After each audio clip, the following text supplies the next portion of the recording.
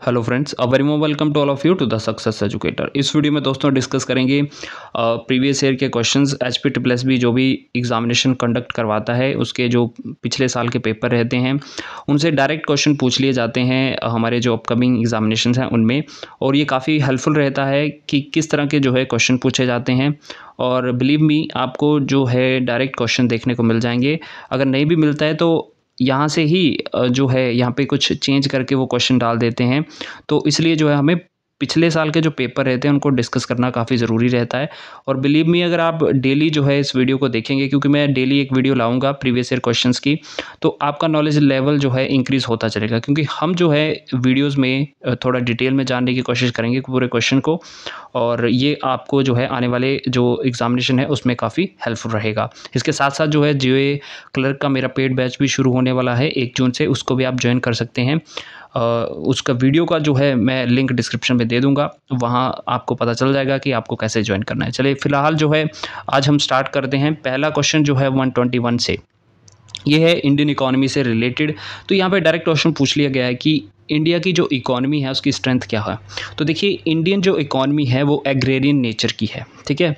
Agrarian nature की है तो यहाँ पे आंसर क्या होगा? Agriculture option number A will be the right answer agriculture ठीक है? 122 पे चलेंगे। फ़र्स्ट तीर्थंकर जो था जैनिज़्म में, वो कौन थे? तो इसका राइट आंसर क्या होगा? ऋषभ थे, ठीक है? ऋषभ नाथ जो है ये पहले तीर्थंकर थे। अगर आपको पूछा जाएगा कि टोटल तीर्थंकर कितने हुए हैं जैनिज़्म में तो वो टोटल हैं आपके ट्वेंटी फोर कितने हैं? चौबीस तीर्थंकर अगर लास्ट का पूछा जाता है तो लास्ट थे हमारे कौन? महावीर। लास्ट थे हमारे महावीर। और महावीर का दूसरा नाम क्या है? वर्धमान। महावीर का दूसरा नाम क्या है? वर्धमान है। अगर हम बात करें दोस्तों इनके बर्थ की तो इनका बर्थ जो है किस सिंबल से रिलेटेड है? तो आपको याद रखना है लाइन से। इस तरह के क्वेश्चन भी पूछे जाते हैं। अगर हम बुद्धा की बात करें तो वहाँ पे आपको ऑप्शन होगा, या तो लोटस दे दिया जाएगा, या फिर आपको बुल दे दिया जाएगा। तो दोनों वहाँ पे सही हो जाएँगे, लेकिन यहाँ पे क्या पूछा गया है? यहाँ पे पूछा गया है आपका जैनिज़्म से रिलेटेड क्वेश्चन ओके सो इसके साथ साथ जो है महावीर का बर्थ के बारे में पूछा जाता है तो बर्थ कहाँ पे हुआ था? तो कुंड ग्राम में। कहाँ हुआ था? कुंड ग्राम में हुआ था। कुंड ग्राम ना दे के वो आपको वैशाली भी दे सकता है। क्या? वैशाली भी दे सकता है। तो कुंड ग्राम या फिर वैशाली जो है, आपका आंसर होगा जब भी बर्थ की बात की जाएगी। अगर पूछा जाए इनकी डेथ कहाँ पे हुई थी तो डेथ हुई थी पावापुरी में। तो ये क्वेश्चन काफ़ी बार रिपीट होता है। बर्थ और डेथ से रिलेटेड दोनों को आपको याद रखना है। डेथ जो हुई थी पावापुरी में और बर्थ हुआ था कुंडग्राम या फिर वैशाली के अंदर। अब इनको नॉलेज जो ज्ञान की प्राप्ति कहाँ पे हुई थी, जिम्बिक ग्राम में। ये भी आपको याद रखना है ओके सो ये सब बातें जो हैं, इनसे रिलेटेड आपको याद रखना है। इनका जो रियल नेम था महावीर का, वो था Vardhaman okay so these were the important things that you have to remember okay so ये प्रीवियस ईयर पेपर में पूछा जा चुका है, इसलिए मैं आप लोगों को बता रहा हूँ। तो यहाँ पे जो फ़र्स्ट तीर्थ करके वो थे आपके ऋषभनाथ देन 123 पे चलते हैं। Who was the first non Gupta ruler पहले नॉन गुप्ता रूलर थे, वो थे आपके श्री गुप्त। देखिए जो फाउंडेशन रखी गई थी गुप्ता एम्पायर की, वो किसके द्वारा रखी गई थी? श्री गुप्त के द्वारा रखी गई थी। लेकिन अगर आपको क्वेश्चन पूछा जाता है who was the real founder of Gupta dynasty तो आपका आंसर क्या हो जाएगा? चंद्रगुप्त फ़र्स्ट ठीक है? आपका आंसर हो जाएगा चंद्रगुप्त फ़र्स्ट लेकिन यहाँ पे पूछा गया है फ़र्स्ट नॉन गुप्ता रूलर वो थे श्रीगुप्त और ये रियल में जो फाउंडर थे, ठीक है? वो थे श्रीगुप्त.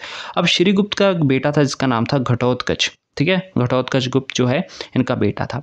अगर बात करें श्रीगुप्त और घटोत्कच दोनों की तो इन्होंने जो टाइटल जो जो एक्वायर किया था वो था महाराजा का. ठीक है, दोनों का जो टाइटल हुआ करता था, वो था महाराजा का। लेकिन जो चंद्रगुप्त फ़र्स्ट थे, इनका टाइटल क्या था? तो महाराज अधिराज, ठीक है? महाराज अधिराज जो है, किनको बोला जाता था? क्वेश्चन पूछा जाता है, चंद्रगुप्त फ़र्स्ट को। लेकिन श्रीगुप्त और घटोत्कच का था महाराजा, ठीक है? तो ये सब चीज़ें जो है इससे रिलेटेड आपको यहाँ पे याद रखनी है। इसके बाद अगर हम बात करें चंद्रगुप्त फ़र्स्ट की तो मैंने आपको बताया कि इन्होंने गुप्त एरा को स्टार्ट किया था, ठीक है? Who started Gupta era real founder कौन थे? तो ये थे, कब स्टार्ट हुआ? 319 एडी में, ठीक है? 319 एडी में जो है, ये गुप्ता एरा स्टार्ट किया गया चंद्रगुप्त फ़र्स्ट के द्वारा। यहाँ पे ऑप्शन में कुमार गुप्त फ़र्स्ट भी है। देखिए कुमार गुप्त फ़र्स्ट से रिलेटेड आपको चीज़ें याद रखनी है। इन्होंने अश्वमेघ ये जो है, यज्ञ करवाया था सेक्रीफाइस करवाया था, ये इंपॉर्टेंट चीज़ है। इनके टाइम पे फ़र्स्ट टाइम जो है, हूणों का, हूण जो थे, उनका अटैक हुआ था। तो जो गुप्ता डायनेस्टी थी, वो किनसे हारी थी? हूणों का आक्रमण हुआ था, उनसे हारी थी। इससे इंपॉर्टेंट चीज़ यहाँ पे ये ये आ जाती है कि कुमार गुप्त फ़र्स्ट ने ही जो है यहाँ पे नालंदा विश्वविद्यालय जो है आपका नालंदा यूनिवर्सिटी उसकी फाउंडेशन रखी थी। ओके सो ये भी आपको याद रखना है। अब बात कर, की जाएगी कि यहाँ पे हूणों को जो है हूणों को अटैक होता है तो उनको किसने हराया था? तो स्कंद गुप्त ने। ठीक है? इनका बेटा था कुमार गुप्त का, स्कंद गुप्त। उन्होंने जो है, पहले हूनों को हराया था, लेकिन बाद में जो है, यहाँ पे इनकी हार होती है, जो बाद में रूलर आते हैं। ओके सो इससे रिलेटेड सकंद गुप्त से रिलेटेड आपको बात याद रखनी है कि इनसे रिलेटेड जो है, दो इनक्रिप्शन मिले हैं। एक है भिटारी भिटारी इनक्रिप्शन दूसरा है जूनागढ़ का। तो ये क्वेश्चन पूछे जाते हैं यहाँ पे एच पी ट्रिपल एस भी नहीं तो आपके अलाइड जो नायब तहसीलदार पेपर है, उसमें पूछ लिया जाएगा, भिटारी और जूनागढ़ जो इंक्रिप्शन है, किससे रिलेटेड है? गुप्ता एम्पायर से रिलेटेड है, और खासकर किस राजा से रिलेटेड है? सकंद गुप्त से। Okay so these were the important things तो ये जो है गुप्ता रूलर से रिलेटेड आपको यहाँ पर चीज़ें याद रखनी है। आगे बढ़ते हैं वन ट्वेंटी फोर पे चलेंगे। पल्लव जो है, पल्लव डायनेस्टी पहले तो देखिए, ये साउदर्न इंडिया की डायनेस्टी थी। ठीक है साउथ इंडिया की डायनेस्टी थी। ओके सो पल्लव डायनेस्टी के पहले जो थी, वो थी आपकी सातवाहन डायनेस्टी सातवाहनों को हरा के जो है, बाद में जो है यहाँ पे पल्लव डायनेस्टी आती है और इनकी यहाँ पे कैपिटल पूछी गई है तो इसका राइट आंसर होगा कांची पल्लव डायनेस्टी की जो है कांची कैपिटल हुआ करती थी। अब पल्लवों का जो है फाइट हुई थी किसके साथ? चालुक्य डायनेस्टी के साथ। ठीक है? चालुक्यास के साथ जो है, इनकी यहाँ पे लड़ाई होती है। अब पल्लवों की ओर से कौन लड़ रहा था उस समय? वो थे महेंद्र वर्मन, ठीक है? Mahendra Varman versus Pulakeshin two. Chalukya के साइड से थे पुलकेशिन टू और जो पल्लव थे, उनसे, उनकी साइड थे आपके महेंद्र वर्मन। तो पुलकेशियन टू ने महेंद्र वर्मन को हरा दिया था यानी कि चलुक्यों ने पल्लवस को हराया था। अगर चलुक्य डायनेस्टी की बात करूँ दोस्तों तो यहाँ पे इनकी जो राजधानी हुआ करती थी वो थी वातापी।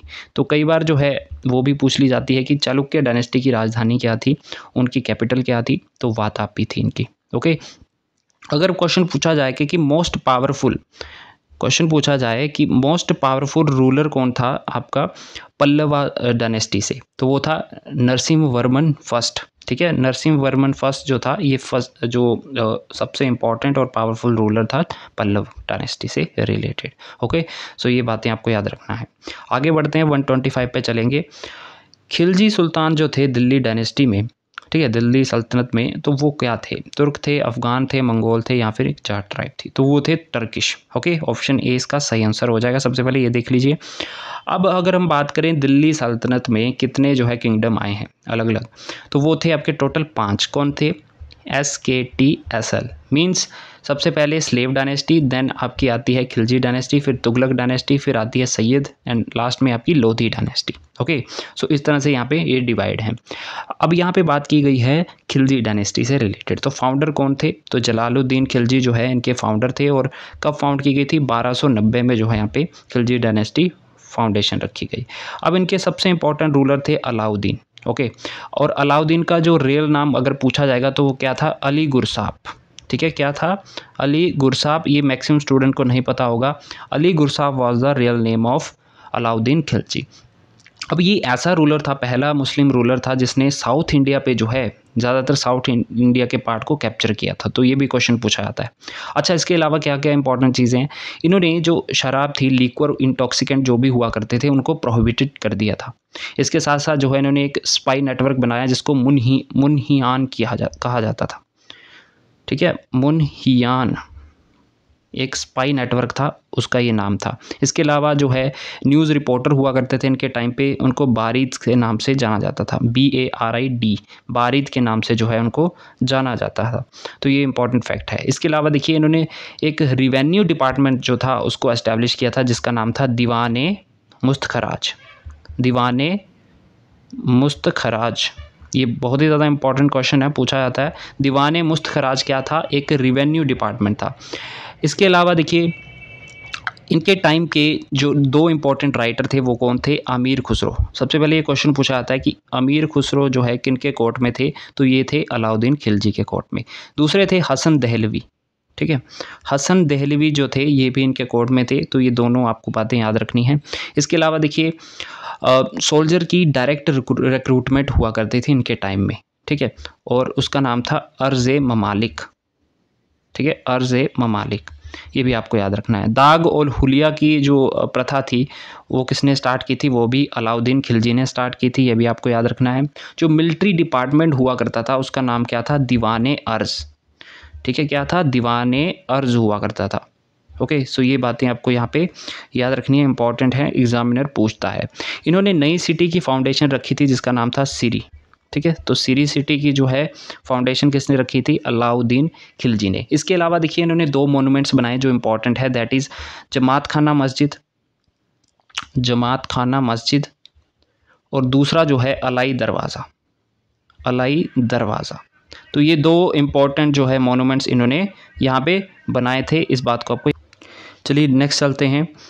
126 क्वेश्चन ब्राह्मणी किंगडम जो था, ये किसके द्वारा फाउंड किया गया था? अलाउद्दीन हसन के द्वारा। ऑप्शन बी इसका राइट आंसर हो जाएगा। Okay so next is 127 Gandhi ji का एक फेवरेट सॉन्ग था, जिसका नाम था Vaishnav Janato okay okay, so so ये जो है सॉन्ग किसने लिखा था स्क्रिप्ट किसने किया था तो ये थे चुन्नी लाल इसका ऑप्शन ए इसका सही आंसर होगा। ठीक है गांधी जी से रिलेटेड एक ना एक क्वेश्चन पूछ लिया जाता है। इनके ऊपर एक किताब लिखी गई है अन टू द लास्ट ठीक है अन टू द लास्ट ये काफ़ी बार क्वेश्चन पूछा जाता है किसने लिखी है? तो रस्किन बॉन्ड ने ये किताब लिखी है। ये क्वेश्चन पूछा गया है प्रीवियस ईयर पेपर्स में तो याद रखिएगा। देन अगर 128 की बात करते हैं who was the first women president of Congress तो पहली वुमेन जो है प्रेसिडेंट कांग्रेस की, वो थी एनी बिसेंट एनी बिसेंट साथ ही साथ जो है इनकी फाउंडर भी हैं। आईएनसी की फाउंडर कौन थे? तो A O Hume sorry sorry यहाँ पे मैं ए ह्यूम बोल रहा हूँ। Annie Besant was the first women president Annie Besant जो थी, पहली वुमेन प्रेसिडेंट थी। अगर फाउंडर की पूछा जाएगा तो फाउंडर कौन थे? ए ओ ह्यूम थे। ओके एओ ह्यूम थे। अब एओ ह्यूम सभी को मालूम होगा इनके फाउंडर थे। अब दो मेंबर और थे फाउंडिंग मेंबर जो कहे जाते हैं इंडियन नेशनल कांग्रेस के, दोनों का नाम आपको याद रखना है। दैट इज़ दादा भाई नरोजी, एक है दादा भाई नरोजी, एक है डी ई वाचा। ठीक है? सो ये भी फाउंडिंग मेंबर थे, याद रखना। एओ ह्यूम तो थे ही रियल फाउंडर साथ ही साथ दादा भाई नरोजी और दूसरे डी ई वाचा इनका नाम भी आपको याद रखना है। फाउंडेशन कब हुई थी? 1885 में इंडियन नेशनल कांग्रेस की, बहुत ही ज़्यादा इंपॉर्टेंट है। और इसके पहले प्रेसिडेंट कौन थे, ये भी क्वेश्चन पूछा जाता है। तो डब्ल्यू सी बैनर्जी ठीक है W C Banerjee was the first president of Indian National Congress जिसकी फाउंडेशन जो है यहाँ पे पहली मीटिंग जो थी 28 दिसंबर 1985 में हुई थी। कहाँ पे हुई थी? बॉम्बे के अंदर हुई थी। कहाँ पे हुई थी? बॉम्बे के अंदर हुई थी। इंपॉर्टेंट है, याद रखिएगा। ओके तो तेजपाल संस्कृत पाठशाला में जो है, यहाँ पे पहला सेशन इसका हुआ था। और अगर हम ए ओ ह्यूम की यहाँ पे बात करें, जो इसके फाउंडिंग मेंबर है तो वो सेक्रेटरी कब तक रहे हैं? General secretary Indian National Congress के तो 1885 से लेके 1906 जब 1906 में क्या आपका मुस्लिम लीग बना था? कहाँ पे बना था? ढाका के अंदर। तो तब तक जो है, यहाँ पे ये जनरल सेक्रेटरी थे। ये बातें आपको याद रखना है। ओके सो ये जो है इंपॉर्टेंट चीज़ें इससे रिलेटेड एक और क्वेश्चन पूछा जाता है कि जब इंडियन नेशनल कांग्रेस का गठन हुआ था तो उस समय जो है वायसराय कौन थे? तो याद रखिएगा लॉर्ड डफरिन ठीक है? Lord Dufferin was the viceroy when Indian National Congress was established तो ये भी क्वेश्चन पूछा जाता है, याद रखिएगा। एओ ह्यूम जो थे, ये क्या थे? एओ ह्यूम थे आपके रिटायर्ड सिविल सर्विसेज़ के, एक ब्रिटिशर्स थे रिटायर्ड सिविल सर्विस ऑफिसर थे।